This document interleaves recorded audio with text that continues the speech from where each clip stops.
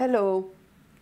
I'm so glad to be able to reach you using this media and to welcome you most sincerely to this gathering of women coming together to forge a new front for security for women, to come together and work together to bring to an end one of the scourges of women, and that is being used as weapons of war.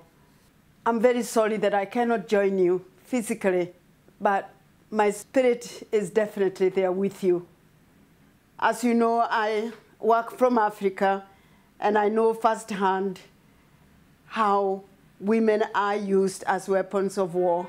I saw it in 2007 in Kenya, and it, even before that, because for many years we have been fighting against intertribal conflicts in Kenya. And although in 2007, many of you will remember that it literally blew up and thousands of women were raped. The truth of the matter is this is something that is happening every day, especially in conflict-ridden areas like the Sudan, like the Congo. Whenever there is conflict, women are the first victims and their children.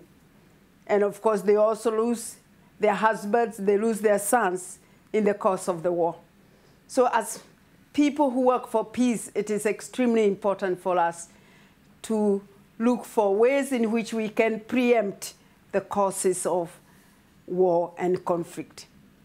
And in our work for the environment, we have tried to link good governance, responsible and accountable management of resources, equity, especially at the national level, as some of the ways in which we can preempt many of the causes of conflict.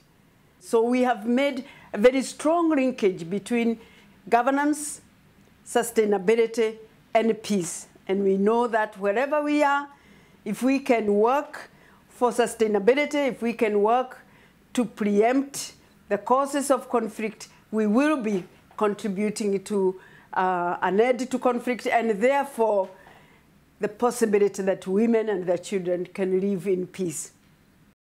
I think I'll stop there, my sisters and a few brothers, if they are any, and, uh, and wish you an extremely fruitful and successful conference. Again, I'm with you in spirit, and I wish you much success. Thank you all very much.